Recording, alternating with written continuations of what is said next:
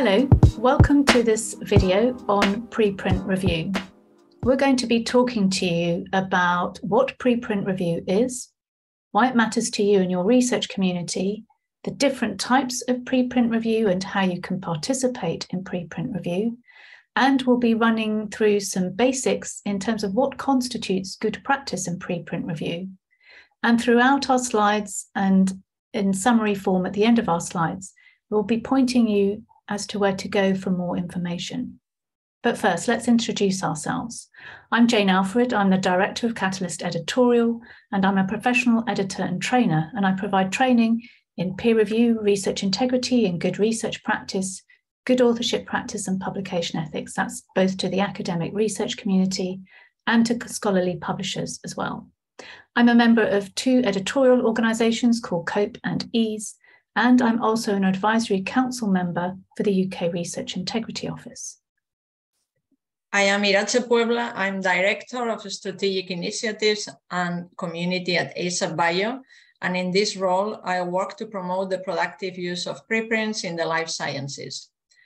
Before this role, I worked in publishing for a number of years. And while I moved from that capacity, I have remained involved with editorial activities, both through COPE and EASE. I'm Facilitation and Integrity Officer for COPE and a member of the peer review committee at EASE. So, who is this video for? Well, if you're an early career researcher, for example, who wants to develop their peer review skills, their academic profile, and to improve their research reporting skills by participating in pre- preprint review, well, this video is for you. Alternatively, you might be a researcher who's interested in open science and in seeking resources to engage collaborators or trainees or, or others to engage with public, public commentary on preprints. You might be a researcher, a funder, or a scholarly publisher who's interested in innovations in peer review and who wants to better understand existing preprint review initiatives. Or you might be like me, a trainer who's looking to update their information and training resources on preprint review. In fact, this video is pretty much for anyone who wants to encourage the uptake of preprint review. Please watch this video and link to it from your organisation's website and or from information that you share about preprint review. So what are preprints? Well, preprints are a full report of scholarly work that's posted freely on a preprint server or repository. They're often copies of manuscripts that are submitted subsequently. Sorry, they're often copies of manuscripts that are subsequently submitted for publication at a journal, and they're given a persistent identifier when they're posted. This is often a DOI, a digital object identifier, that makes a preprint discoverable. They're not peer reviewed by a preprint server before being posted online, but some preprint servers do run um, preprints through some basic checks, for example, to check for plagiarism and or to check for offensive and or dangerous content.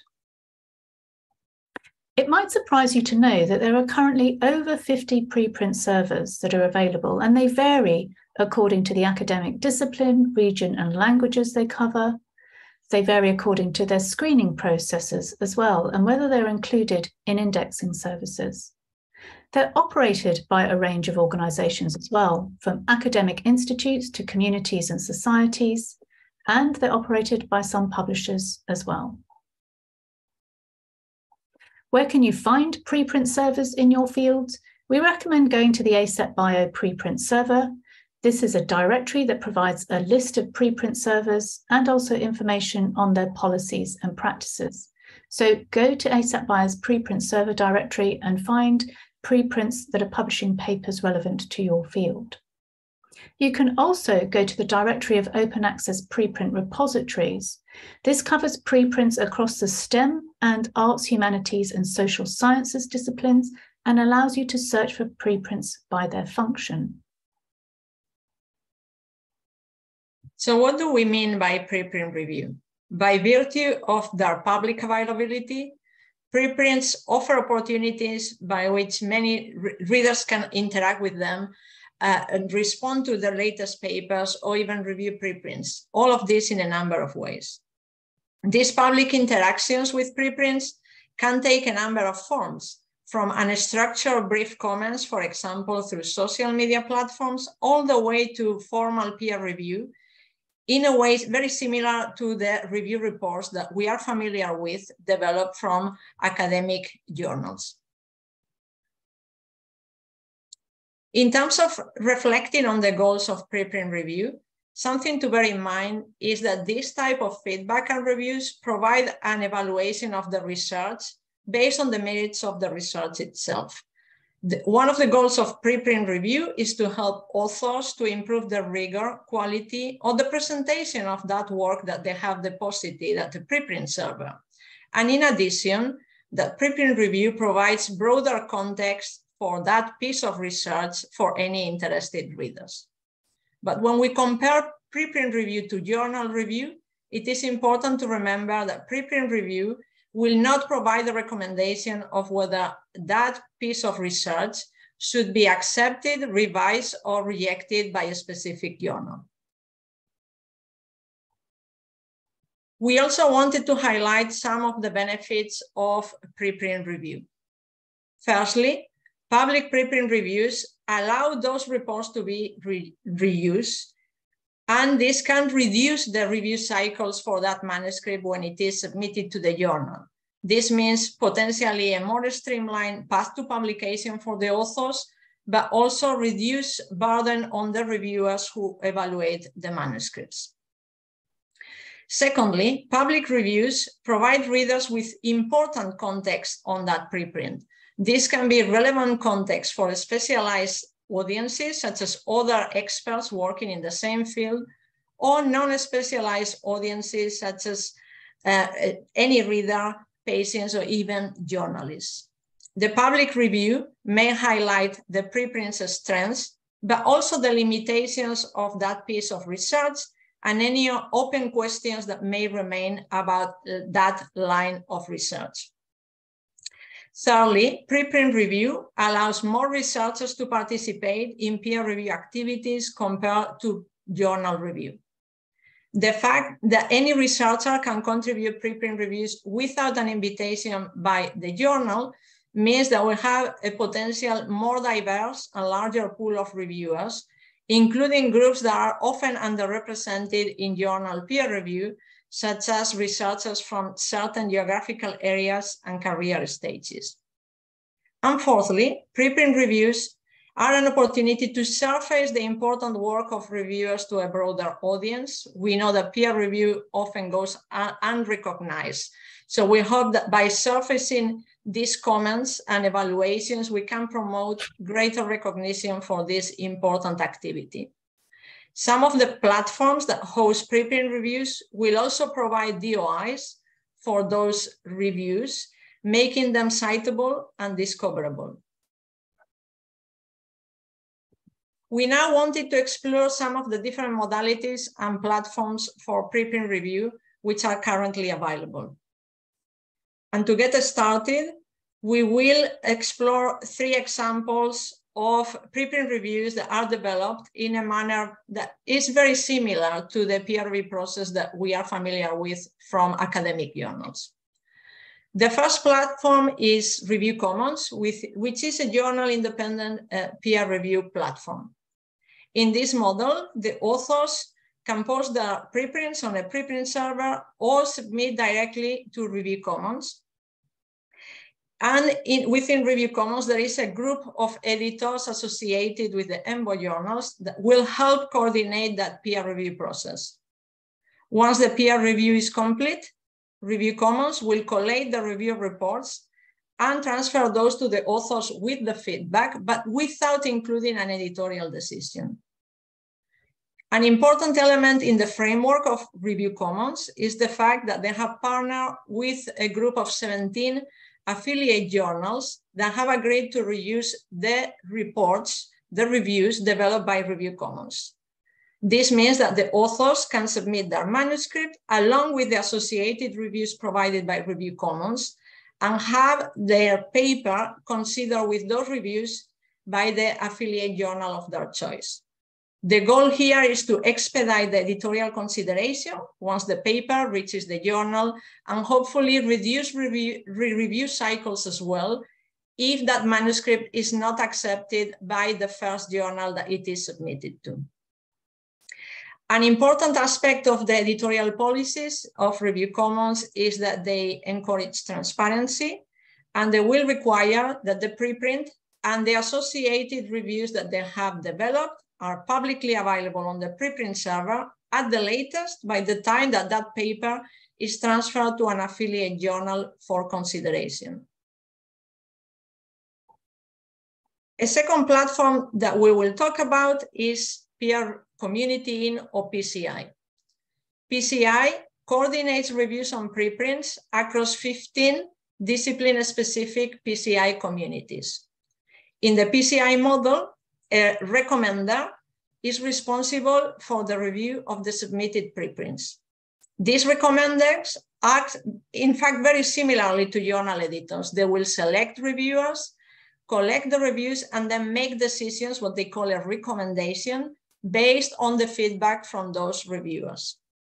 The reviews and the decisions issued by PCI are given DOIs, so again, they are citable by themselves.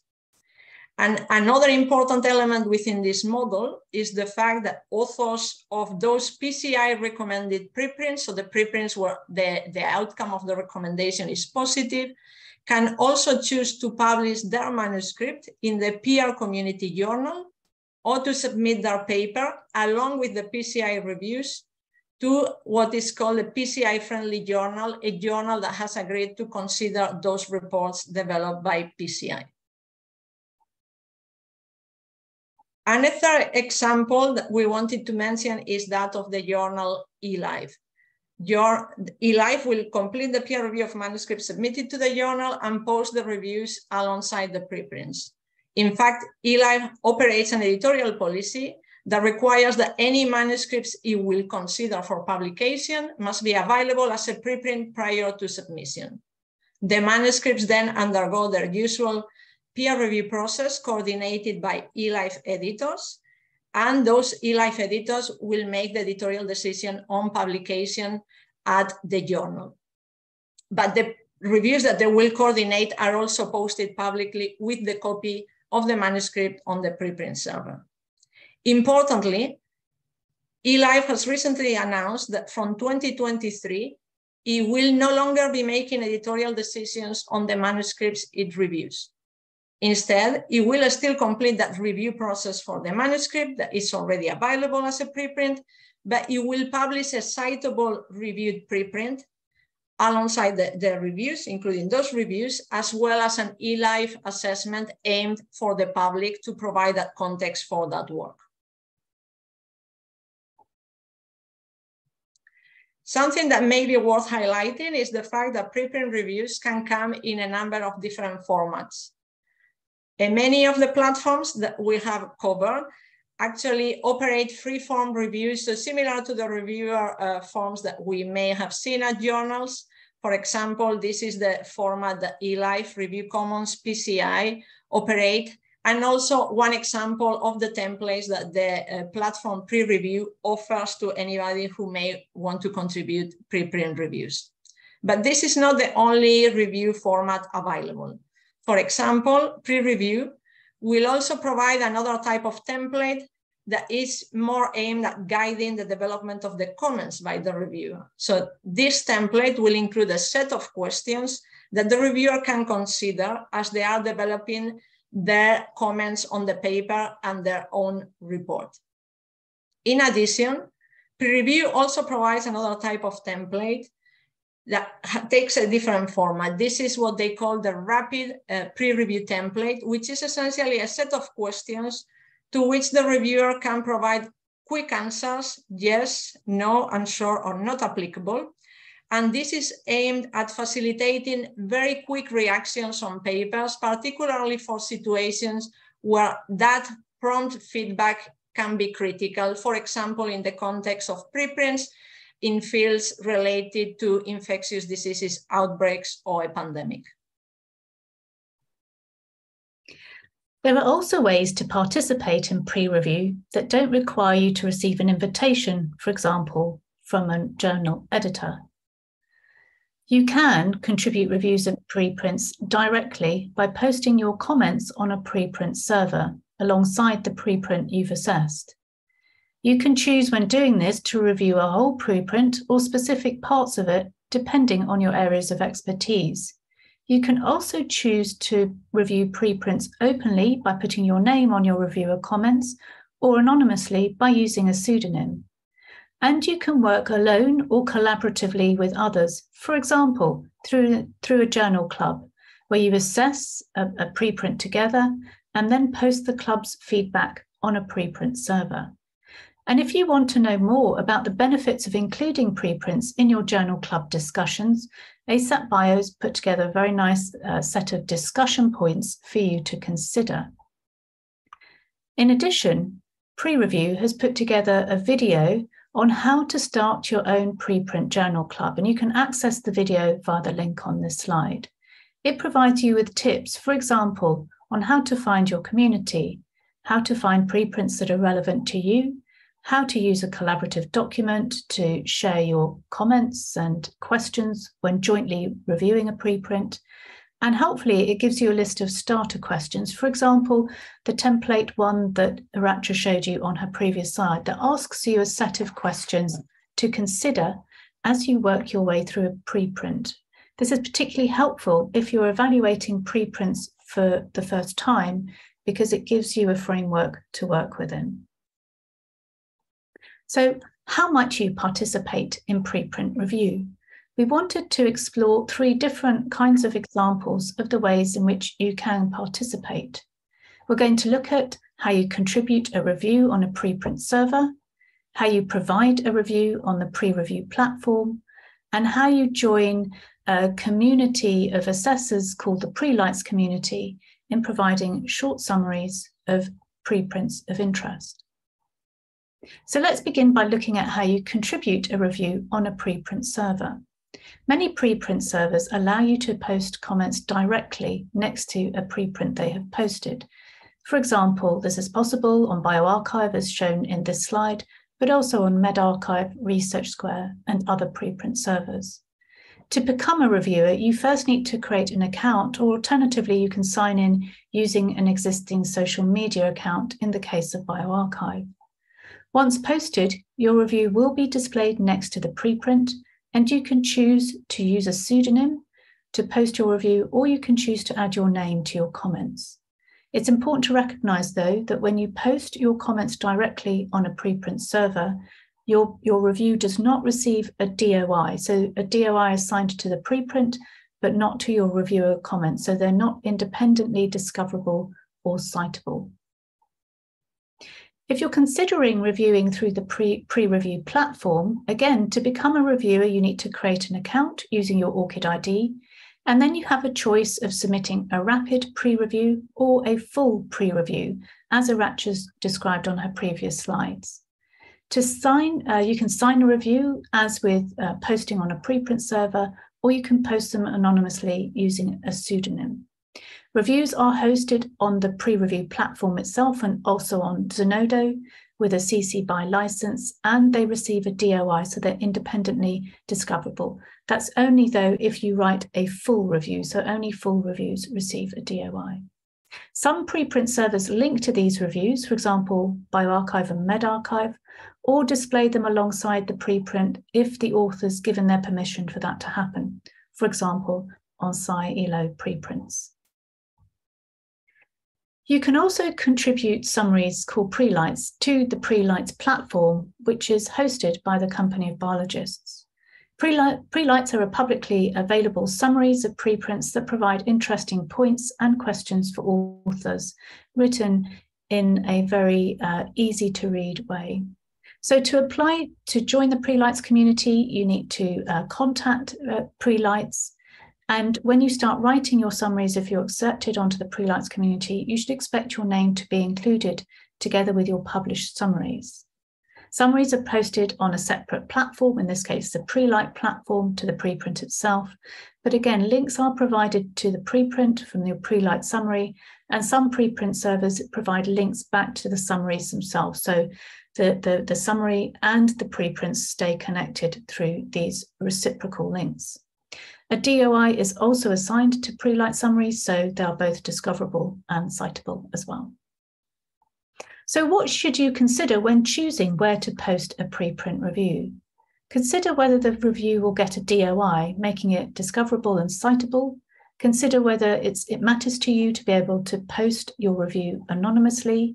And think about the review format you'd like to use as well. Think also about the license that is used to share your review. Is it making, made openly accessible and reusable by all? So we have explored a number of modalities to contribute preprint reviews and different platforms where those reviews can be accessed and read. But there are a couple of other options available where you may find preprint reviews. And we wanted to talk a little bit about those as well. So we're going to talk briefly about overlay journals and preprint review aggregators. Overlay journals are journals where the main output they will publish are actual reviews of papers rather than the articles themselves. The way that overlay journals work is that they will select manuscripts that are already available at open repositories, for example, preprints that have been posted on preprint servers, and the overlay journal will then coordinate reviews for those manuscripts. Those journals will then publish their reviews and links to the reviewed preprints. There are different overlay journals available across disciplines, and a few examples include Episciences journals, the JMIR overlay journals that cover medicine, biology, and psychology, as well as Rapid Reviews COVID-19, which is an overlay journal with a focus on the review of uh, preprints related to the COVID-19 pandemic. In addition to this, we have now a couple of examples of platforms that aggregate preprint reviews. These preprint review aggregators do not review preprints themselves, but instead seek to host preprint reviews that have been developed on different platforms of, by different groups or projects. A couple of examples of this include Sciety, which is a platform developed by eLife, and Early Evidence Base, a platform that has been developed by EMBO. Sciety includes reviews from preprint review platforms such as the ones that we have already covered, Review Commons, pre-review, and others, but importantly, it has a broader scope versus that because it will also list preprint evaluations developed by community groups that coordinate specific evaluations of preprints of interest to them. So they don't need to be linked necessarily to a specific preprint review platform. The Sciety platform will also be open to hosting comments on preprints from a number of community groups. On the other hand, Early evidence base is focused on aggregating preprints with in-depth reviews, so more structured reviews of the similar format of what you would expect at journals. This includes the platforms that we mentioned that involve coordination by an editor-like role, as well as platforms such as uh, PRF or Peerage of Science. So we're now going to switch to talking about good conduct in preprint review. So what does good conduct in preprint review consist of? Well, to begin with, you should check your biases and assumptions. For example, are you likely to assume things about the quality of a preprint or the work reported in the preprint based on the identity of the authors, their nationality, their gender, the prestige or not of their research institute, because you need to be aware of how these biases and assumptions can play into your ability to assess and evaluate a preprint with impartiality. And it's very important that when you play this role of a reviewer or an assessor or an evaluator of research, that you do, do so with impartiality. You must also disclose any potential competing interests. Please also be transparent about your expertise and about which parts of a preprint you've reviewed, and do always use constructive language to provide feedback that is clear and actionable. In order to be actionable, feedback needs to be specific so authors know exactly what parts of a, a manuscript you're referring to and what the specific nature of their concern is. You should focus any criticisms on the work and not on the authors, and make it clear in your report if you've reviewed specific aspects of a preprint and which aspects, or if you've reviewed the entire pre- preprint. If you're writing a kind of full text narrative type of full reviewer report, clearly demarcate within that report your major points of concern, those that impact the main conclusions of a preprint, from your more minor points of concerns. For example, if you spot minor errors in the text, such as typos that need to be fixed. Do also communicate your enthusiasm and appreciation to the authors of the preprint, but also be constructive and candid about your concerns. We'd like to point you to the FAST principles that have been put together by ASAP Bio. The, the FAST principles set out 14 principles for creating, responding to, and interpreting preprint feedback, and they broadly fall around four themes of being focused, being appropriate, being specific, and being transparent. So, this is not just about principles that should guide you as you evaluate a preprint as a reviewer, but also principles that can uh, guide you as an author who's responding to a set of preprint reviewer comments. There's also the Open Reviewers Reviewer Guide that's been put together by Pre-Review, and the link here on the slide will take you through to a full description of this guide. But briefly, it provides you with six key steps on the pathway through from starting a preprint review to posting it. And it begins, as I've said before, by checking your biases and assumptions. Then in step two, you should read the preprint, gain a conceptual understanding of it. Ask yourself, do I have the knowledge and expertise to properly review this preprint? If you can, go ahead, do a fine detail read and identify your major and minor issues and then start to craft your feedback. As I've said, make your feedback clear, make it constructive and actionable, and put it all together into a coherative narrative account that takes the author step by step through your evaluation of their preprint. Give it a final read, check it for your biases and assumptions, make sure you've been objective, polite, and constructive, and then share it by posting it on a preprint server or on the review platform that you've used. Right. So it's of course important to also touch on what's in it for you. So we wanted to mention what the benefits are for you individually from participating in preprint review. There are a number of uh, benefits to individual reviewers in contributing comments and feedback on preprints. First of all, it will help you improve your own skills in the critical and constructive appraisal of research. And this can apply to the research that is being produced by other peers, but also in terms of thinking as to how you think about the design of your own research and of developing the manuscripts from your research work. Preprint review can provide you with a fantastic opportunity to build your experience reviewing and hone your peer review skills. And this can be a stepping stone to getting opportunities to participate in journal peer review as well. Importantly, participating in preprint review can also help you improve your own writing and communication skills as you think carefully as to how others are writing their own papers and your suggestions as to how those papers can be strengthened.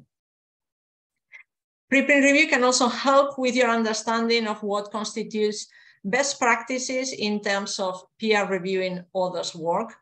And it is a way of contributing to the community comments on the latest findings and developing, developments from your research field, even prior to that uh, manuscript, to that work getting to being a submission to a journal submission. This can also be particularly valuable for the authors of the preprint who can get those comments from you and other members of the community to allow them to improve the quality and reporting of their manuscript again, even before they submit it to a, a journal for publication. And importantly, participating in preprint review can also be an opportunity to receive credit and recognition for reviewed preprints that you author and for participating as a reviewer of preprints. And in the context of recognition of preprint review, we realize that this space of preprint review is relatively new, but we are seeing a lot of innovation and growing interest from different stakeholders around these public preprint review activities. And we wanted to mention a couple of examples of developments that have come up in recent months. The first one is the EMBO postdoctoral fellowships. This is a program of fellowships that has been running for a while, and it included uh, a requirement uh, for applicants to have a first author uh, peer-reviewed journal publication to be eligible for the fellowship. Interestingly, EMBO announced in April 2022 that they would actually consider preprints with in-depth peer reviews publicly available as also fulfilling that requirement of having a peer-reviewed publication for eligibility for this fellowship. The second development related to recognition for preprint review was a statement issued in July 2022 by Coalition S, which is a group of research funders who have policies and an interest in driving open access to publications. In their statement from July, Coalition S stated that they would consider preprints that had undergone formal and uh, in-depth peer review as equivalent to the requirements in terms of fulfilling expectations for peer-reviewed publications. So they would consider the peer-reviewed preprints as equivalent to peer-reviewed publications appearing in a journal. So to summarize, becoming a preprint reviewer is good for your research, it's good for your career development and your career progression because you acquire and strengthen skills in the critical evaluation and the constructive evaluation of other researchers' work, which then informs your own. It helps to make peer review more inclusive because it allows more people to engage in the peer reviewing of research in their field, often enabling parts of our research community who've traditionally been underrepresented in journal peer review. And it's a benefit to your research community. It's a benefit to authors. It's also a benefit to all of the organizations that read and have an interest in the findings reported in preprints. They can be governmental organizations, non governmental organizations, policymakers. Preprint review provides context, it provides uh, explanation and evaluation at that point at which that work is being more widely shared. And that has a societal benefit as well. So we'd like just to point you where to go for more information. ASAPbio has a really nice set of uh, feedback FAQs, so you can read through there. So through those FAQs, they cover a lot of common questions about preprints and preprint review. PREreview has some really useful resources as well, including their Open Reviewers Toolkit. BioRxiv has produced its own guide on how to comment on preprints on the BioRxiv server. And PREreview has its open reviewers bias reflection guide, which I would encourage you all to read before you undertake for the first time the peer review of a preprint. If you're interested in becoming involved in preprint review, you can sign up to the Preprint Reviewer Recruitment Network, which journal editors will be looking at on ASAPbio's website as well. So Rach and I would like to say thank you for listening to this video and for sharing it as well. Thank you so much for listening. And if you have any comments or suggestions, feel free to get in touch. And we'd also like to say thank you to Samantha and Richard and Daniela from the bioRxiv PREreview and um, from medRxiv as well, and Jessica Polka from ASAPbio for their helpful feedback on this video. Thank you and goodbye. Thank you.